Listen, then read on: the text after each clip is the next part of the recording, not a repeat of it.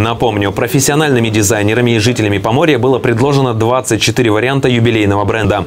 Лучшей, по мнению оргкомитета, стала современная, дополненная версия логотипа предыдущих юбилейных торжеств, разработанная архангельским дизайнером Александром Масловым. За его вариант проголосовало наибольшее число северян. Игорь Орлов поддержал предложение о поощрении всех разработчиков эмблем, вышедших в финал. Что касается логотипов, которые могут быть использованы в процессе э, освещения этого, давайте мы э, остальные три поддержим и скажем, что они тоже имеют право на жизнь.